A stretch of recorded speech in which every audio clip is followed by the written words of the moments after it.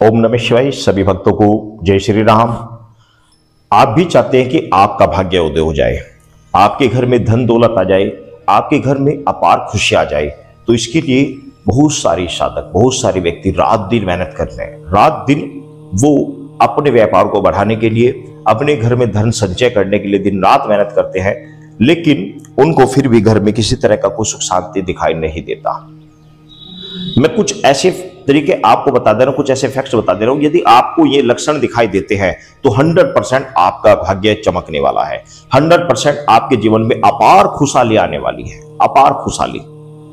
ऐसे कुछ लक्षण मैं आपको बता दे रहा हूँ। इन लक्षणों को आप जान लीजिए, यदि आपके साथ में ये घटना घटती है, आपको ये लक्षण दिखाई देते हैं तो समझिए कि आपका भाग्य उदय होने वाला है। आपको बहुत कुछ प्राप्त होने वाला है, बहुत कुछ प्राप्त होने वाला है।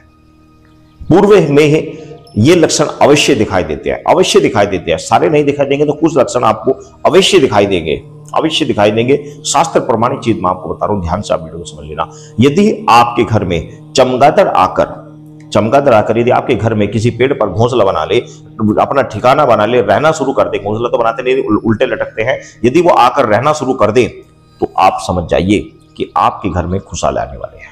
आपके जीवन खुशियों से भरने वाला है। आपके आपका जो घर है उस घर के जो सीमा है उस सीमा के अंदर यदि कोई आ, मोर आकर बैठने लगे कोई मोर आकर बैठने लगे तो यह भी बड़ा शुभ संकेत है। इसका मतलब यह है कि आपका जीवन भाग्य उदय होने वाला है। आपके जीवन में खुशी आने वाली है।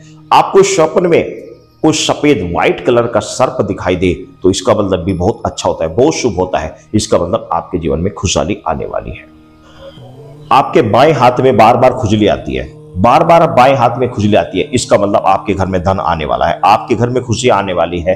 किसी बिल्ली ने घर में आकर बच्चे दे दिए हैं, घर में बिल्ली आकर अचानक से ब्याह गई है, अपने आप ही आकर वो रहने लगी है और उसने वहाँ पर बच्चे दे दिए हैं तो ये भी खुशहाली का संकेत है, इसका मतलब आपके घर में धन आने वाला है। ये पूर्व संकेत होते हैं और अगला क्षण होता है आपने देखा होगा कि अक्सर रात्रि में झिंगूर की आवाज़ें आती हैं। गाँव में तो बहुत आती है, शहरों में भी काफ़ी घरों में आती है। यदि आपके घर में अचानक से लगातार झिंगूर की आवाज़ें आ रही हैं, लगातार झिंगूर आपके घर में बोल रहा है, लगातार तो इसका मतलब यह है कि आपके घर में धन आएगा।